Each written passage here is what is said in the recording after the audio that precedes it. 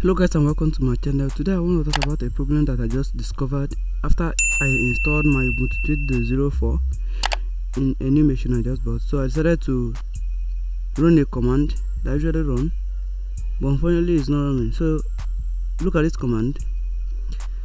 When i run this command it gives me this error. So then how do we resolve this problem? So we need to run this command. I'll paste it in and see if it helps us. So I'll run it. Okay let's run it as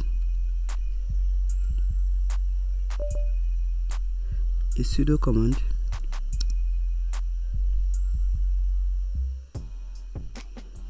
I'll say why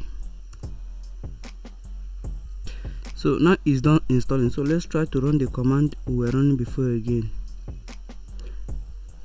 Let's run it so as you can see now it said there's no such file but at least we know the that the strings command is there.